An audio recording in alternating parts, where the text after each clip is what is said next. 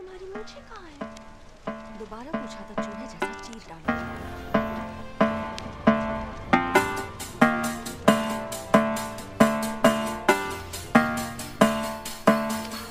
house.